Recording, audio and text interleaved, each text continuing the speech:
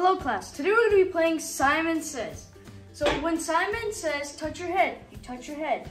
When Simon says touch your nose, you touch your nose. When Simon doesn't say anything, you keep your hands what Simon said until the last man standing. Simon says touch your nose. Simon says touch your mouth. Simon says touch your toes. Touch your knees. Touch your hips. Simon says put your hand on your nose. I am so confused. I thought we were playing a game of Simon Says, but they were not following the rules. Did you notice? Every time Simon said to do something, they didn't do it. They did whatever they wanted to do. But when no one said, when it wasn't Simon Says, then they seem to do it. You know, this kind of reminds me of a story in the Bible. It just makes me think of what's that word? What's that word? That's right, rebel. This reminds me of what it means to rebel against God's word. Louie, what does it mean rebel? Oh, Ruthie, that's a really good question. What does it mean to rebel? Do you know what it means to rebel? Yeah. Rebel means to stand against or to oppose the one in authority. So in our game of Simon Says, we know that Simon was the authority and they rebelled. Who has the authority in our lives? Do you think it's our parents? Mm-hmm. Your mom? Your dad? Yeah, that's right. Your teachers? Your leaders? Your pastor? And God, God too is an authority in our lives. As we will learn today, all people have rebelled against God. You recently learned the memory verse For all have sinned and fall short of the glory of God. All of us, every single one of us. What does that mean? What are the consequences? We will find that out. After the great flood, God told Noah and his sons to grow their families and fill the earth. As their families grew, the people started to travel through the land. At this time, everyone in the world spoke the same language. One day, the people traveled through a valley. They liked it there and decided to stay. Yeah, this is perfect. We should stay here. Yeah. Wow. This is nice. Wow. Who think we should stay here?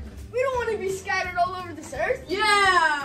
Yeah. The city and the tower so big it could touch the sky. Yeah. The tower can make us so famous! United! And so the people made bricks out of clay and baked them in the fire to make stones. Then they used the stones to start building the tower. They wanted glory for themselves instead of God. But God is greater than anyone. God created people to give glory to Him alone. God came down to look at the tower. God said, If they are doing this, they will keep thinking up more wrong things to do. So God mixed up the people's words. Instead of everyone speaking the same language, everyone spoke different languages. All the hijinks very so nice.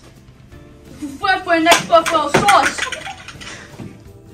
When people tried to make plans, they could not understand what other people were saying. If one workman said, Hand me another brick, nobody else knew what he wanted. The people had to stop building the city. Families had to move away from each other to live with people they could understand. God made it so the people did just what He had told them to do after the flood. They were scattered all over the world. The city with the unfinished tower was called Babel.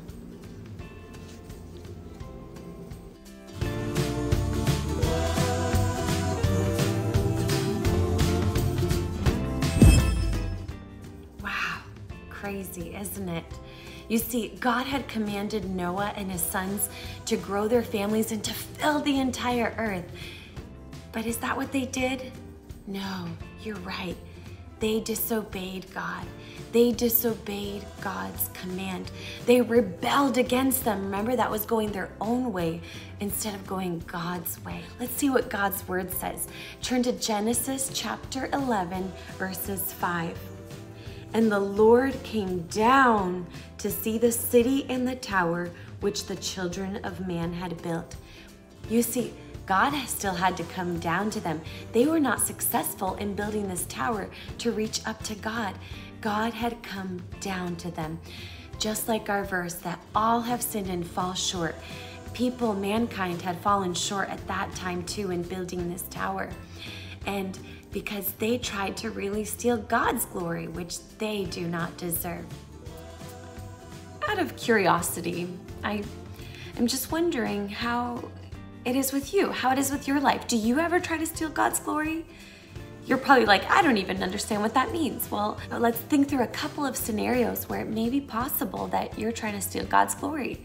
So, for example, maybe in kids choir, or a solo group or is sharing a poem in church and you're doing that so that people notice you so they can see what a beautiful voice you have or how lovely you speak in ukrainian and how you can say these poems and um, maybe as you know singing in choir that they can see you then really what you're doing is you're trying to make your name great. You're trying to be noticed. You want to be important and that's that's that's stealing god's glory because God is the one who's given you that voice. God is the one who's given you that ability. And we should say, Thank you, God, and give Him all the glory for it.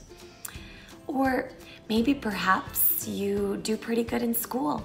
And anytime you get a test and you do great, you say, I got straight A's. I did so good. Like, I am just a great student. I'm so smart. And maybe you love it when other people are telling you how smart you are instead of giving God the glory that He gave you the ability to even go to school, giving you the knowledge, He's giving you the mind to be able to think and be able to learn. We try to give all the glory to ourselves. Maybe these are a couple things that this is how we tend to try to make a name for ourselves, just like those people in Noah's time were trying to make a name for themselves.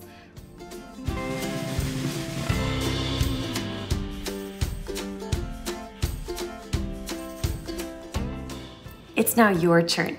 You go ahead, find some Legos, find some building blocks, whatever you can, and try to build the tallest tower that you can. Have a competition with your siblings, or maybe with your mom or your dad, who can build the tallest tower. And then maybe you can bring in the measurements next week as well.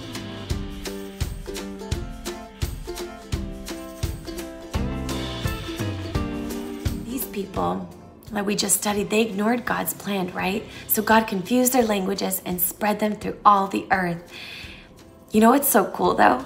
We get to look forward to when God's going to undo this. There is one day where, at the name of Jesus, every single knee will bow.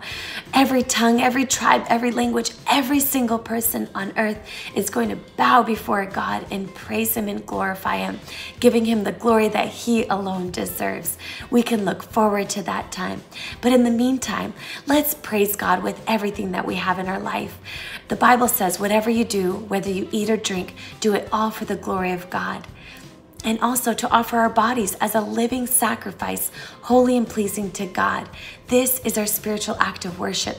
So we could worship God with our lives, whether we're playing sports or doing homework or playing with a friend and having a, a sleepover, whatever it is, we can do it all for the glory of God. Before I let you go, I want to let you know that on Sunday, you can go ahead and pick up your page from your workbook and you'll pick it up. This is your homework that you'll do and you'll turn it into your teacher next week. We look forward to seeing you and let's go ahead and close in prayer. God, thank you so much that you are a wonderful creator, God. That you have created us with all sorts of gifts and abilities that we can offer back to you as, as praise and give you all the glory with all that we do. I pray that this week we remember that when we do something well, we can say, Thank you, Jesus, for the ability that you've given us, and may your name be glorified. In all things, God, may we not try to steal your glory, but just like the building the Tower of Babel who had rebelled, we all have gone our own way. But may we choose to follow you and to go be in alignment with you, to do what you say because you want what's best for us. We thank you, Lord, for it all. In Jesus' name I pray. Amen. God bless you. Have a good week.